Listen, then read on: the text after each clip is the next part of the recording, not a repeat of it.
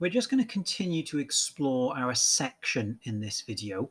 Now we created our ceiling by here, but what I've done, I have now created another section, same process as before, but as we have a look at this section on the corners, we can see that our ceiling joists tying in where the truss would be over the wall plate, but we get this large protrusion through the roof which of course is not what we want. So there's a couple things I'm going to do here. I'm going to first of all edit the ceiling type and just remove that row 2 that I put in earlier with the insulation and say OK. Oh, edit, delete it first, sorry. There we go, delete and OK. OK, now that's dropped it down to there. So we can see now our ceiling joist fits in by there, but I do want to show the insulation. So what I'm going to do next is copy that ceiling and just move it up 150. And then I'm going to click on that one and edit that and duplicate it and just call it 150 insulation. Say OK. And we can get rid of our plasterboard and just change the material to our insulation.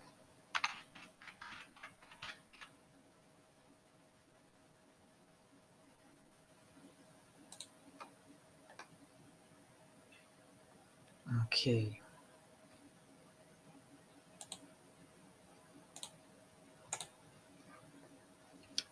Now I'm going to just have a little look. We haven't quite got it in the right place.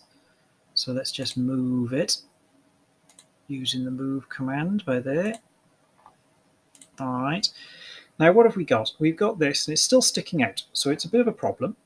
So we'll first of all just show you what this join geometry does. So if we click on the join geometry, press on the roof and then press on that bit of ceiling. There we go, make sure it highlights. Notice how it cuts it away so it looks tidier, but we've still got that by there. So what I'm going to do now is click on what we've got left and edit the boundary. And I'm going to jump to the ground floor plan and instead of it being over there, because this is the insulation, I'm going to drag it in a bit and I'm going to come inside a little bit by there as well. Because the insulation would naturally taper with the roof. And then let's go back to the section. And that should be a little bit better. So we'll tick. Okay, that's good. It's no longer protruding beyond our roof, which is good but we can still improve our drawings a bit. Now you'll notice we'll use the same command again, this join geometry. Click on the roof, click on that ceiling, and it's now joined it by there. Now we could have done that the other way round if you would prefer. So on this side, let's First of all, sort the wall out because we'll see the wall is still sticking up on this side. So we'll do the wall onto the ceiling by there. But let's just say we'd actually want the ceiling to go into the roof. So just escape right again.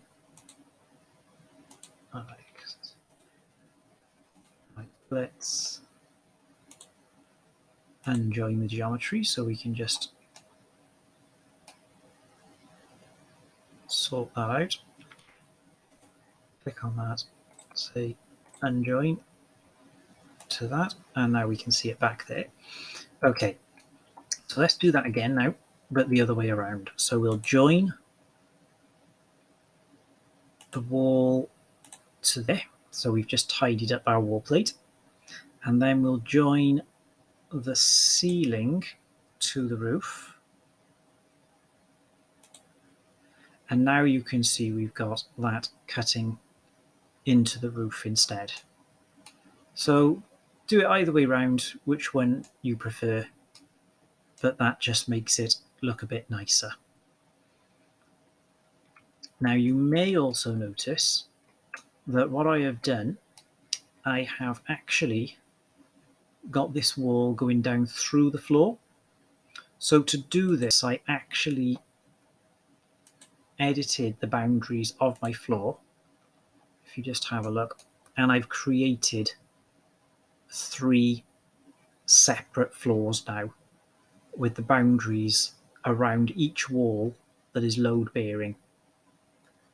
So the original wall was down here and I moved it up to there. So I'm just going to cancel that. Okay, and that enabled me then in my sections to actually have the wall go down through the floor instead of having a mishmash.